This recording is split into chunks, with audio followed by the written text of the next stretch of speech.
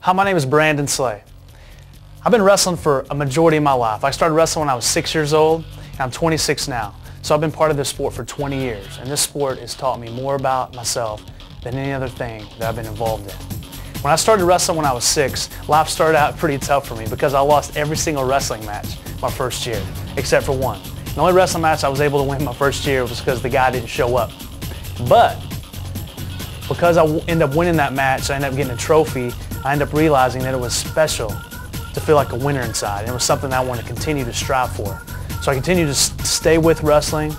I stayed committed to it. I continued to persevere. And I went on throughout my career and I started getting my hand raised more. I started realizing that I felt good to be a winner.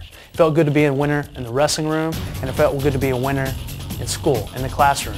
I continued on with my dream to be the best wrestler I could be. When I got to be eight years old, I realized that I wanted to become an Olympic champion.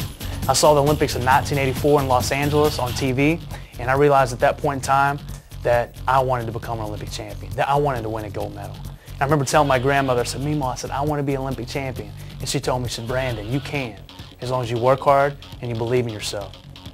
So from that moment on at eight years old, my dream was to win an Olympic gold medal. So I started, continued to work hard and put that time and commitment in.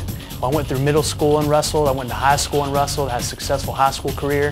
And because I studied hard and I worked hard, I created opportunity to come to the University of Pennsylvania and get my degree in finance and management, but also become part of a successful wrestling program.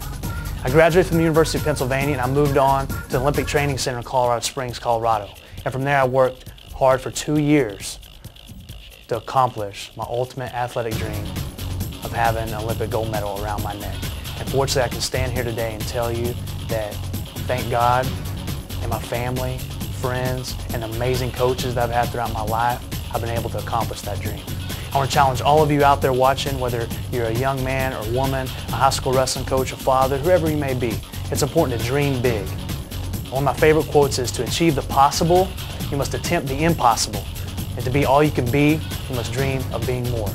So set your goals high and stay committed to those goals. As long as the benefits of that sport or that goal or that dream outweigh the cost, I want to challenge you to stick with it and not give up because I promise you, it will end up paying off for you.